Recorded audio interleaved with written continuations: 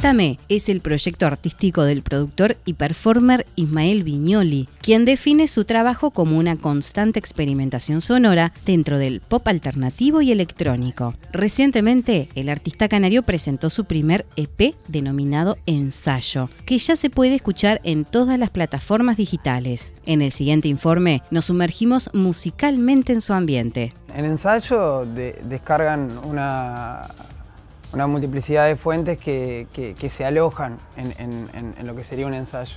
Este, producir un sistema de pensamiento musical nuevo, eh, o por lo menos nuevo para mí, y que discutiera otras formas de producir música era lo que me interesaba. Literatura, mucho cine, obviamente que la música que me gusta, eh, están allí presentes, desde Frank Ocean hasta Babasónicos, hasta eh, Prince, pero también, por ejemplo, me gusta mucho César Aira, me gusta mucho la literatura. Creo que en, ese, es como muchos retazos que, o muchos ingredientes que se licuaron y que terminaron generando esto. A mí lo que me interesaba con el ensayo era, era tirar formas que, musicales que fuesen interesantes, al menos para mí, y encontrar links con otras personas.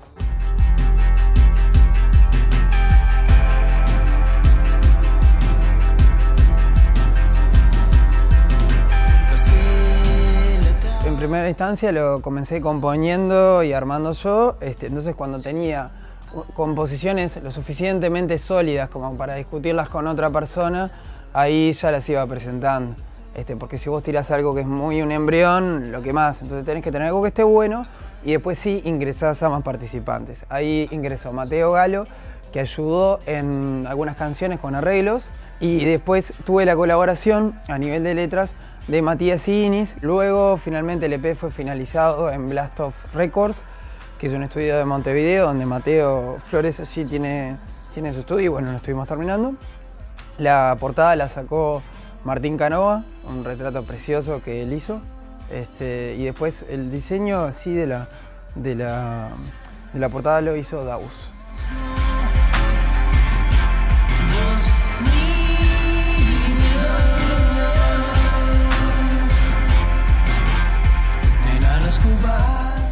Vestimenta, este, las visuales, este, la manera de tocarlo, súper importante. Mi performance tiene que ver mucho con el mundo del rock porque es súper física, este, hay, un montón de, costados masculinos que están ahí puestos que, que, nada, que permean y que, que le dan forma al show en vivo.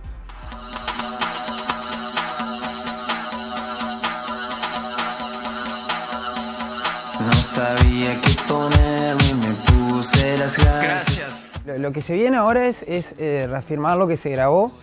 Este, estoy en varios proyectos, pero uno de ellos es, eh, voy a sacar un, es muy probable que salga un documental sobre el EP, sobre cómo fue hecho, donde van a participar eh, quienes participaron dentro de, lo que, de lo que terminó siendo ensayo. A nivel de presentaciones en vivo, tengo ahora el 8 tengo uno en Canelones, en un festival que va a ser bastante grande y al, aire libre. Eh, y después tengo uno el 14 en Montevideo, que eso va a ser en Inmigrante. Voy a estar eh, abriendo para una banda que se llama NME.